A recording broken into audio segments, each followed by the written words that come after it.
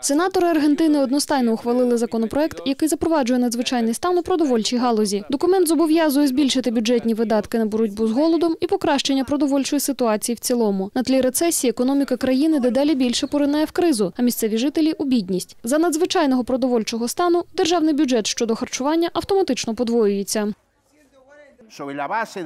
За наявності таких ресурсів, якими володіє Аргентина, ганьба, що наші люди голодують, але це сумна правда.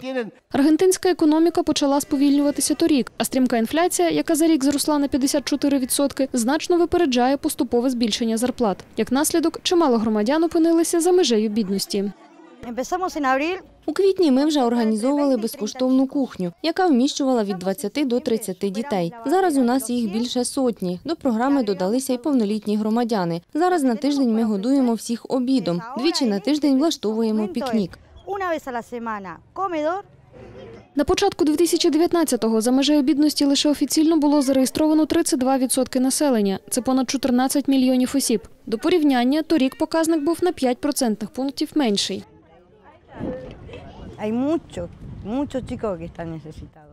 Серед бідних дуже багато дітей. Вони не доїдають. Є такі, яким нічим вечеряти, та снідати теж хіба обідають з усіма.